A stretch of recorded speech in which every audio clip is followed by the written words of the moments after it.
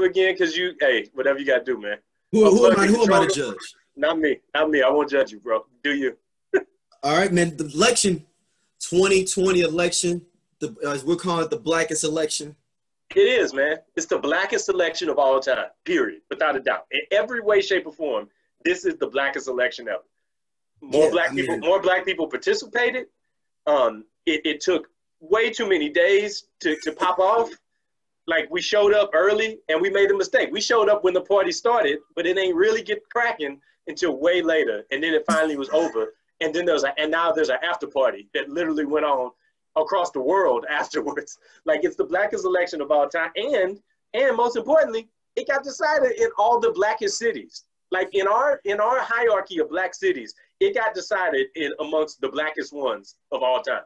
All it needed was uh like it got we got Detroit black, Philly black, Atlanta black. All we needed was Baltimore, St. Louis, Chicago, and we got the whole we got the whole kid and. Right, because like Trip, because like in California, they already handled it. So like Oakland, like the Bay and all them, they like yep. you don't even come out here asking us what we doing. And, and, and, and, Oakland knows that their blackness uh, card is up for um, uh, uh, renewal every year at this point. We're not sure still where Oakland is in blackness. Like every year we have to reassess you Oakland's you, blackness. You're gonna get in trouble. I didn't say that. You're gonna get look, in trouble. no, look, look, Oakland knows. Oakland people know. They know that they have to get. I'm not saying they're not black now, but they have to get reassessed every year. They have to get new tags every year. They they, they, they can't we, they can't get the two year tags. But we also saw some emergent black cities popping up. You know what I'm saying? And we saw some things. But as always, it was a um, it was because hey, I'll put it this way because I know about four or five brothers that have relocated. We talk about people going to new places, not necessarily becoming different cats that just went to different places that's living down in Phoenix now. So you know mm-hmm. what I'm mm-hmm. saying? We starting to see that. We starting to see that that that twist and turn. Shout out to my co-host Brandon. He's he's in Phoenix. My co-host from the, uh, Just Kicking It is in, in Phoenix. you look look at that. Even even even SOLC is out is in Phoenix. SOLC West uh, is, is, out there. But you know what I'm saying? Uh, but so we got like we, we saw these places pop up, man. We saw black people represent, and Joe himself said it. He knows he's not there without black folks, and he said, "I, I, I owe y'all one." Hey, and one thing you know about us, we gonna be there ready to collect it too. so I mean, that was who, before we even get in there. Who's who's who's the bill collector on on Joe though? Who who comes? Who shows up to bill like, hey man, you going to oh, run Kamala, that Kamala, Kamala is there for that. She's black woman accountability is at his hip. so we don't need to we don't need to get uh, James Evans to show up or nothing. No, we good. We hope we don't need to do that. I don't. Joe's not that. Joe is Joe is Joe is riding with Kamala and Barack. He's he is sandwiched between. It's like a political Oreo. We got everything we need, like right there.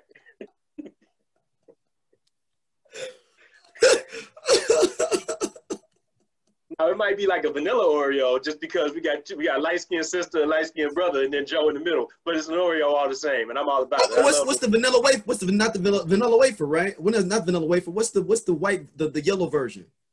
Uh, it's just called vanilla for me. vanilla sandwich cookie. Because you know we was eating them off brand ones too. The ones that had that one strip, that one stripe of vanilla, that one stripe of chocolate, and then that other strip of vanilla.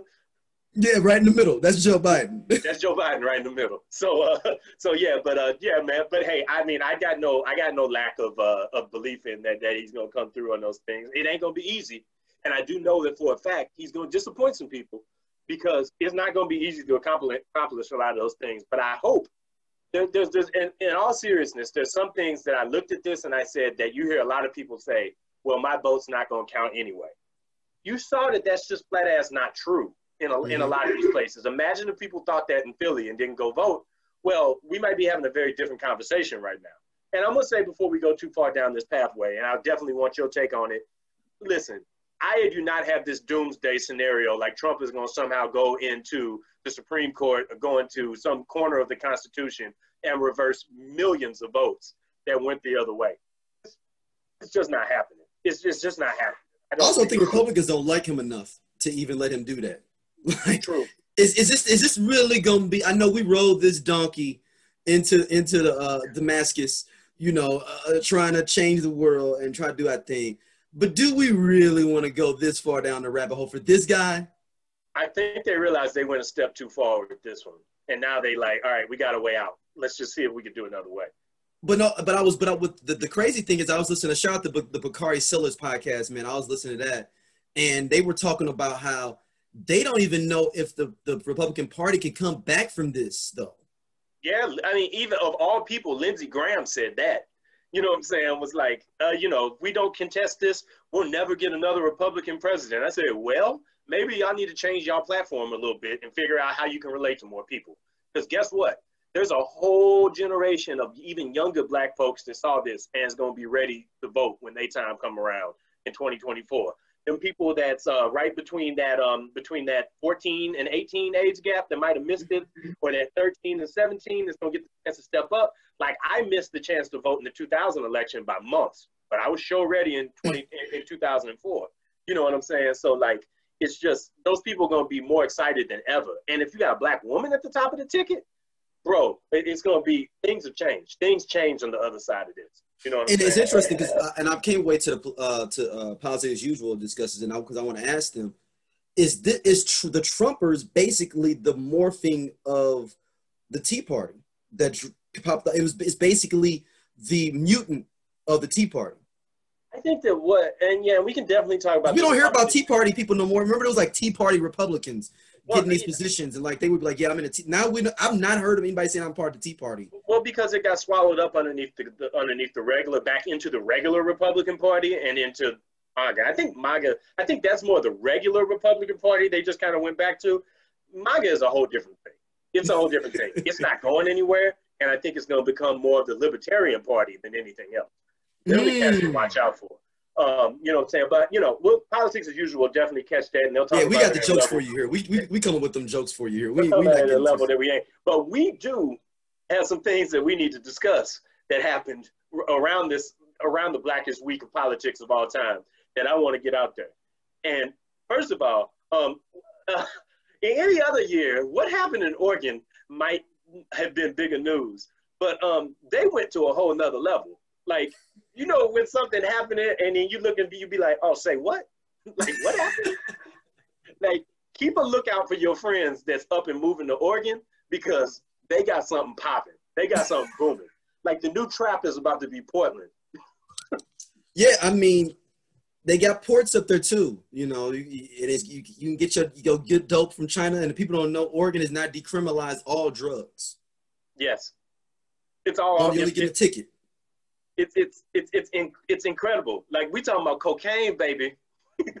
we talking about- no, no, keep it now. Before y'all get to running up there pushing weight, it's o- it's only to a certain amount. You can't be up up there uh, pushing bricks now. Not, we, I'm, I'm, not suggesting you getting a kilo. Don't be sitting at home watching Narcos, being like, "Oh, it's time to go." we, we going up to Lake Oswego or whatever. We got to open up shop and get it and get it cracking. Like that's not what we're talking about. But you know what I'm saying? But like the state of Oregon literally has gone to another level. They decriminalized psychedelic mushrooms. Now, here's the reality of it, the way I look at it. It's like those are the type of drugs I think you're gonna really see the boom in up there. Like those those little, you know, because Portland is super, super liberal. I don't even like how that word gets used in, in, a lot of regards, but it's right in this case. Like Portland, have you ever watched Portlandia? Yes. With Fred Armisen. Like, yep. wouldn't, wouldn't, you imagine that that's a place that would legalize like magic mushrooms? Yeah, and, oh, like, of course. Like LSD and stuff like that. Like, it, it's going to be interesting to see what happens. I think that some of the headlines that come out of Oregon are going to rival Florida soon. It's going to be great. yeah, it's going to be it's going to be one, man. I like I look forward to seeing how many people will just move there. Like, I'm just going on a spiritual journey, man. I'm going to Oregon.